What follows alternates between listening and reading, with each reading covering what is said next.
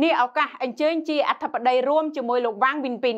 ឯកអគ្គរដ្ឋទូតចិនប្រចាំកម្ពុជា ក្នុងពិធីសម្ពោធបង្គោលផ្លាកឈ្មោះផ្លូវមហាវិថីស៊ីជីងពីងនាថ្ងៃទី19ខែកក្កដាឆ្នាំ2024លោកអបនាយករដ្ឋមន្ត្រីសុនចន្ទថុលអនុប្រធានទី1ក្រុមប្រឹក្សាអភិវឌ្ឍកម្ពុជា បានអះអាងថាប្រទេសចិនឈរជាប្រទេសលំដាប់ទី1បានផ្ដល់អនុទានសម្បទាននិងជំនួយជាង3000លាន និងសាងសង់ផ្លូវជិត4000គីឡូម៉ែត្រនៅកម្ពុជា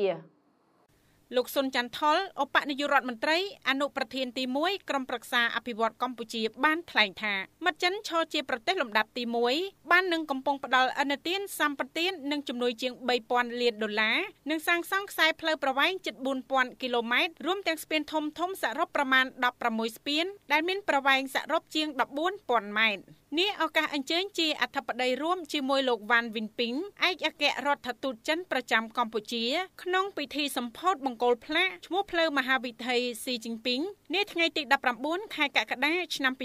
2024លោកឧបនាយករដ្ឋមន្ត្រីបានឲ្យដឹងថាគិតមកដល់បច្ចុប្បន្ននេះគម្រោងធំធំជាច្រើនត្រូវបានលេចចេញជារូបរាងដូចជាតំបន់សេដ្ឋកិច្ចពិសេសក្រុងប្រស័យហនុផ្លូវលបឿនលឿនភ្នំពេញក្រុងប្រស័យហនុនិងអាកាសយានដ្ឋានអន្តរជាតិសៀមរាបអង្គរហើយប្រលានយន្តហោះអន្តរជាតិដេជោក្រុងតាខ្មៅនិងផ្លូវលបឿនលឿនភ្នំពេញក្រុងបាវិតក៏បាននឹងកំពុងដំណើរការសាងសង់ដែរនិងលេចរុករាងឡើងក្នុងពេលអនាគតផងដែរ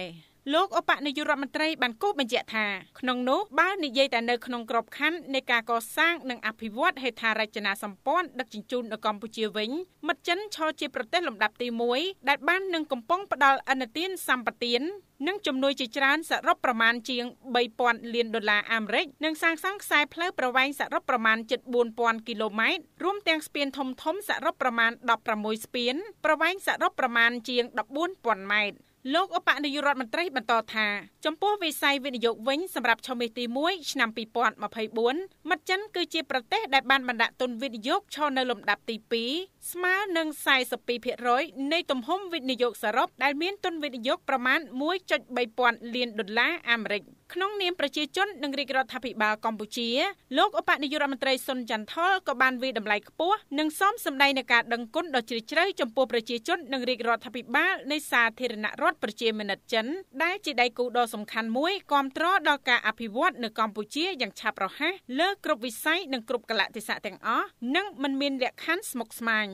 លោកឧបនាយករដ្ឋមន្ត្រីមានសុទិដ្ឋិនិយមថាកម្ពុជានិងចិននឹងបន្តរក្សាទំនាក់ទំនងមិត្តភាពជាប្រពៃណីដ៏ល្អប្រសើរនិងមានកិច្ចសហប្រតិបត្តិការដ៏ជិតស្និទ្ធនេះតរៀងរហូតដល់អ្នកចំនួនក្រោយទៀតផងដែរ